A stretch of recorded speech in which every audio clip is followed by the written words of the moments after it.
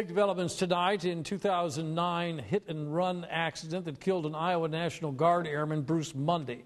Patrick Bell's in the newsroom to explain what's going on. Patrick? Yeah, Kevin, News Channel 8 has learned tonight the driver that hit Mundy, a convicted felon with an extensive criminal record, might not spend any time in prison, and the victim's family says that is simply unacceptable.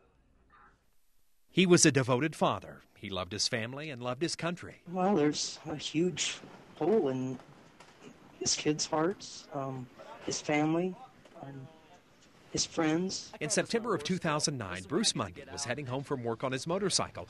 Unaware, two men had just stolen gas from a Southside convenience store.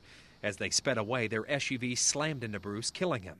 The passenger is serving 10 years in prison. The driver has yet to face trial. From what I understand and what I'm being told, there's the possibility that he will be released. Investigators believe Santos Rodriguez was behind the wheel that night, despite an amputated leg and brain damage suffered years before.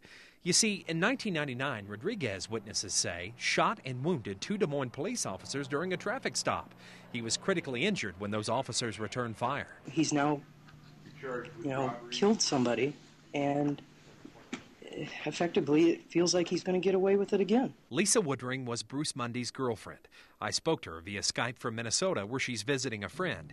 She tells me prosecutors called her a few weeks ago and told her medical experts have officially ruled Rodriguez incapable of standing trial. It takes some amount of competency to make those kind of decisions.